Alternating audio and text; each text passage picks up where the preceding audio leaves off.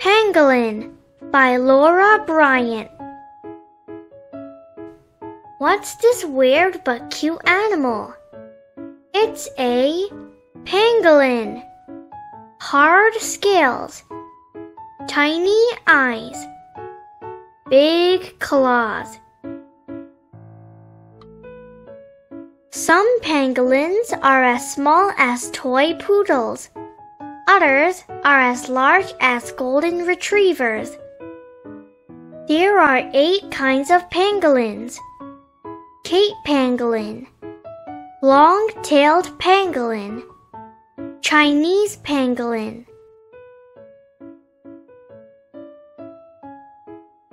Pangolins are mammals, yet they don't have much fur or hair.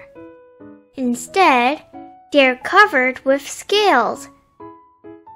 Pangolins live in Africa and Asia. Scales.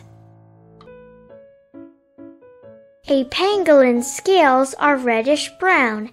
They overlap to form a kind of armor. Even the animal's head and tail are scaly. The scales are made of the same stuff as a person's fingernails. Stop and roll. If a pangolin is scared, it curls up into a ball. Its tough scales help protect it from predators, such as lions. The word pangolin means something that rolls up. Smell that? A pangolin can. Pangolins have a strong sense of smell. Pangolins are great at picking up smells. However, they have poor eyesight. These critters can easily sniff out their favorite foods.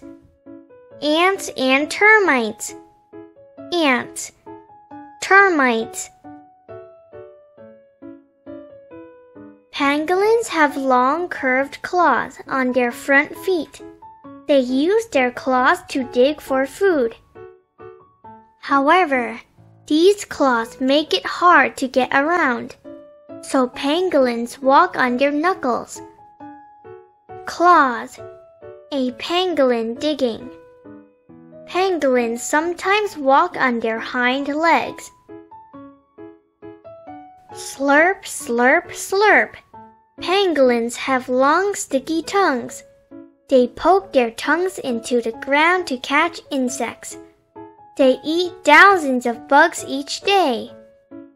Pangolins don't have any teeth. Mother pangolins have only one baby at a time. The baby has a special way of getting around. It rides on its mom's tail. A baby pangolin is called a pango pup.